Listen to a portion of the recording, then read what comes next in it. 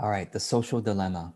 This is the popular documentary that you may have seen being promoted on social media that we should all stop using social media because it's evil, addictive, manipulative. It takes our data and sells it to advertisers. So I thought that I should make a video about this because, well, I use social media in my business and I teach other people how to use social media uh, in their business. So let me share with you my thoughts on the social dilemma. All right. The first thing I'll say uh, is that there's one thing I agree with about the social dilemma, which is children. Children should definitely be guided, maybe even restricted from using things like Facebook and Instagram, Twitter, uh, to some extent YouTube, although YouTube has YouTube for kids. Um, but yes, I mean, but but here's the thing: just like we restrict or moderate children's behavior in other areas of life, such as their social life, who are they hanging out with? What are they doing when they're hanging out? Is, is it taking too much time away from their other activities? How is it affecting their mental and emotional development? We don't say, well, children should stop hanging out with people. No, we just say, well, you got to hang out, but hang out responsibly. Social media is essentially a global, virtual social life. They are interacting with other human beings or content created by other human beings, and of course, by artificial intelligence as well. But it is affecting their mental development and emotional development. So, of course, if we care about our kids or the children in our lives, we, we're going to be cognizant and uh, guiding them towards using it responsibly. Same thing with junk food. I mean, we don't allow kids just eat as much as junk food as they want. We we moderate that. We say, well, it's pleasurable, and maybe we allow them to indulge every now and then, but then it's not something that they should just have their own free reign. So of course, um, children or anybody that you feel you know they need that guidance because their their mental health or whatever um, should should be should be guided in that way. Similarly, we should be guiding ourselves. If are you a responsible adult with free will? I hope so. Especially those of you watching this, I hope are, are adults uh, that are responsible and with free will. And if so, shouldn't you be guiding yourself and your behavior on social media? Or are you going to give away all your power and say, oh, it's Facebook's fault? Facebook manipulates me. It makes it so interesting. It's like a lottery. It's like, you know, being in a casino. I, I can't help myself. Is that really your argument that you can't help yourself? Well, that's the phrase is if you can't help yourself, then I'm sorry. But the truth with a capital T is of course you can help yourself. Who else is going to help you if not yourself? First of all, people can try to help you, but if you don't help yourself, you want you're not going to benefit from from anybody else's help. And if you are going to give your power over away, it's not just social media that's uh, manipulating you. That's it's television has been manipulating us for decades. And before that, it was the radio that manipulated us. And before that, it was books that manipulated us. Ever since books were created, I mean, you could look back, eh, I think it was like ancient Greek. There were, um, yeah, in ancient Greek times, there were complaints about how books are going to ruin our minds because you know it's going to um, influence us in this way or that way come on ever since content has been available to humankind, people have complained that oh, it's we, we're you know they're it's manipulating us. Yes, social media is more powerful because now it has our sort of behavior and it's able to give us content that it thinks we want. So here, so let me be really clear about what Facebook and YouTube and Instagram and Twitter, what, what are they trying to do? Are they trying to manipulate us? No. That's not the intent. That's not the, the profit models manipulate. No, the profit model is to give people what is so pleasurable to them that they're going to keep coming back and they're going to stay there. And so the advertisers can put ads in front of them because that's how we make money. We make money by selling people's attention to the advertisers. So how do we get their attention? We study what their behavior is. What articles do you click on? What uh, as you scroll? What what uh, topics do you hover longer than others. Yes, they time, of course. I already knew this before watching the documentary. I already knew all this. The, doc, the documentary taught me nothing new about what social media is doing to us. I, I knew this all along. And I just, and I'll, I'll go, I'll get to how I use social media, but it times everything. How long do you stay on the topic? Okay, so now they know they're interested in that topic, or that it captivates you in some way. If you keep scrolling past something, they're to say, well, that didn't captivate you. So, based on that behavior, they're going to say, well, let's serve that person more of the stuff that captivates them because we want their attention because the advertisers make us money. Of course. Do, do you want the social media sites to not understand you and so therefore serve you boring stuff? Let's be clear about this. There are certain websites you used to go to that you don't go to anymore because it's boring to you now or you outgrew it. Well, that website failed in keeping your attention. Facebook is really smart because Facebook is obviously dynamic, Instagram, YouTube, all the platforms. They're dynamic. They keep serving you the content that you get captivated by. So, whose responsibility is it? Well, obviously, you have at least 50% responsibility because you can turn it off anytime or you can scroll past something anytime and train the algorithms to say, well, no, I don't want that kind of stuff. Let me keep going. And yes, I want this. I'm going to click on it because then it'll give me more of this stuff in the future. So, whose responsibility is it? At least 50% is yours. I would get, I would say it's more like 80% is your responsibility. And maybe 20% is social media's responsibility for giving you things that are so addictive that you actually want. You won't be addicted by something that's not pleasurable to you, obviously. So guide ourselves well. So the other thing I want to say is this. If people are going to blame social media and say we're going to stop using it, we're going to make sure they're regulated so they're not so entertaining and addictive. This is going to be the same argument for the next technology that's virtual reality. I have never used virtual reality. Well, I have maybe in like really advanced video games at some arcade. It's kind of like virtual reality, but I, I don't have a virtual reality device at home. I don't know if you do or not. But can you imagine one day when many of our homes have virtual reality devices? You think Facebook is addicting? You haven't seen anything yet. The virtual reality is fully immersive. You feel like you're in a different world. And of course, the VR companies are going to program, they're going to study.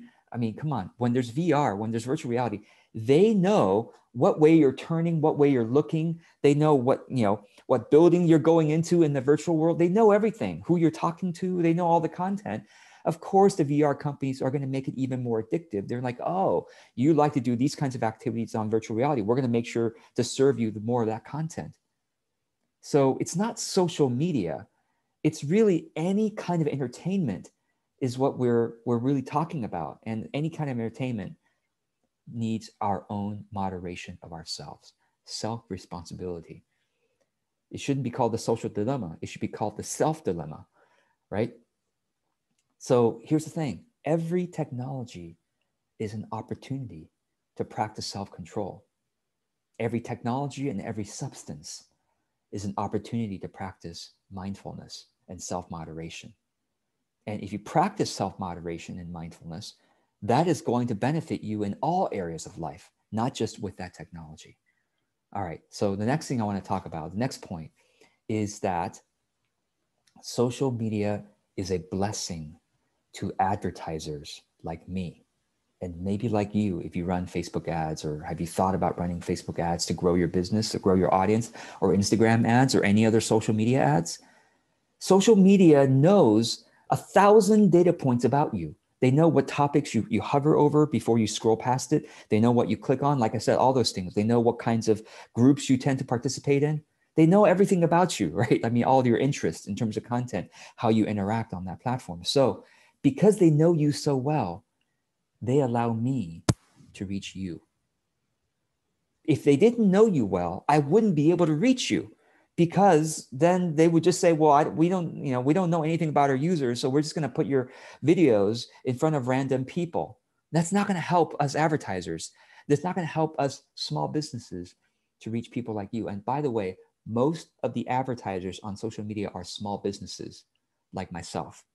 We're not trying to manipulate the election or anything like and of course there are that kind of elements too but most of us advertisers are just trying to get our content and our offerings in front of the right people, which is you.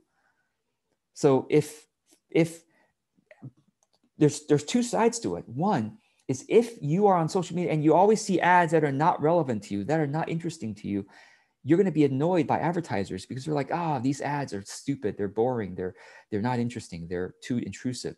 But if if social media knows you well, they're going to give you ads that feel like they it was meant for you. They're going to be you're going to see ad, if it's if it's supposed the way it's supposed to work, everybody, is that they're supposed to know you so well that when you see ads, it feels like, wow, this product was built just for me. This company somehow knows me well enough to put this thing in front of me. I'm so glad I know about this pillow, this shoe, this online course, this service. I'm so glad I know it exists, or I'm so glad I was reminded of it. That's how it's supposed to work.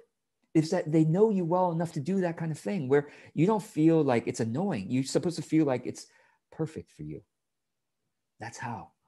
That's what I'm trying to. So, so, and for us advertisers, that's how it's supposed to work too. We're, we're hoping that the social media platforms know everything about us so that we can f- put our things in front of just the right people. You have problems in your life that I can solve, but I should put in, be, I should be, you see what I mean? Like if, if social media doesn't know your problems, I can't, as a business owner, I can't put my solutions in front of the problems that people have. So like, for example, social media doesn't know me well, it's going to put like trucks, advertising for trucks in front of me.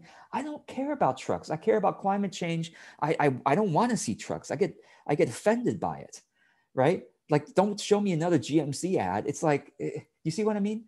Or let's say you're offended by veganism. I don't know. You're like, you're big into eating meat.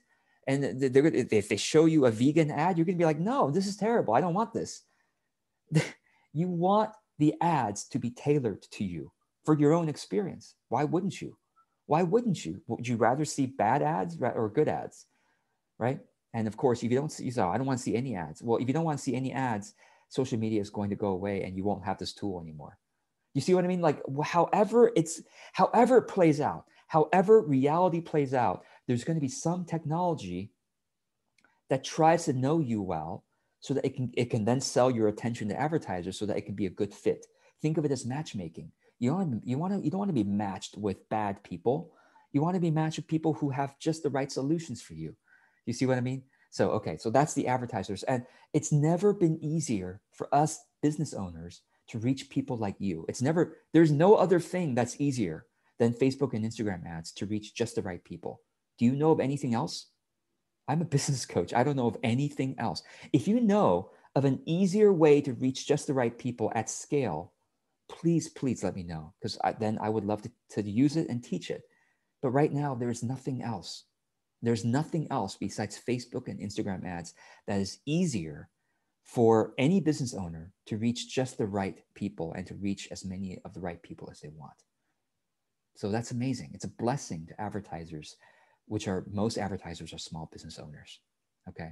All right. So the last thing I'll say is this for the people who are trying to boycott social media so i'm not going to use social media anymore i don't want to contribute to this you know casino you know this manipulation and this deception and this whatever here's the thing you uh, all of us good people can leave social media but the, the technology is so convenient and so entertaining that most of the people most of humanity is still going to use it so us few small you know good people are going to leave most of the people are still going to keep using it. So let me ask you the question Do you want to leave most of the people to the wolves? Or wouldn't you rather most of the people have the opportunity to occasionally see good content from you? You have a choice. You can either participate with your good content and so therefore add to the conversation, or you can leave the conversation and let the pool of social media be shallow junk content. It's up to you. I would rather stay in the conversation rather than leave. So let's stay in the conversation. This is where people's attention is going to be. You think you're going to get all your friends off social media? Good luck. Not going to happen. It's too entertaining. It's too convenient. All their other friends are there. Good luck. It's not going to happen. I, my friends have tried. They're back. So it's t- if you can't beat them, join them. And it's not something you need to beat. You just need to be there as a good presence using the ads. All of us can use ads, right? And one more thing I'll have to say is this I really decry the social media platforms being restricted and being regulated. I, I, I detest this. You know why? Because as an advertiser, every time I go on, there's yet another restriction that I can't talk about this or I can't talk about that. Those of us who run Facebook and Instagram ads know it's freaking annoying. Oh, now they, they say we can't talk about anything related to um, anything suggesting negative mental health. We can't talk about that because we might trigger people. It's like, oh, no, I'm trying to help people with anxiety. No, no, no. You can't use the word anxiety or your anxiety. You're going to trigger people. Really? I'm trying to help them. I'm trying to give them some good content, to help them with anxiety or depression. No, you can't say that. See, Facebook ads restricts us from this stuff. And uh, YouTube ads probably does too, to some extent, and, and other uh, platforms too. Oh, you can't mention the word Trump. Even if my article is just mentioning Trump or Biden or whatever for mental health purposes. Uh, no, you can't say that. You can't say anything political is highly restricted. It is on, on Facebook ads now. It's like it's very restricted now because it's being regulated or they want to prevent regulation. So they're trying to restrict themselves. Mark Zuckerberg is doing his best, people. That's my that's my experience. Having been on Facebook since mid 2000s and watched the evolution and watched and been on and been an active advertisers for all these years, I see it becoming more and more restricted because they're trying to do their best, even though there's no c- congressional re- restriction yet, regulation. They, the platforms, are trying to restrict themselves. So anyway, that's that's my opinion about the social dilemma. I'd love to know what your thoughts are and your questions. And I hope this is helpful. I'm George Kao, authentic business coach. I love talking about how do we build a business that is based on meaningful engagement and meaningful impact on society and also on our own inner life. All right. I wish you well, and I look forward to your questions and your comments below. Take care.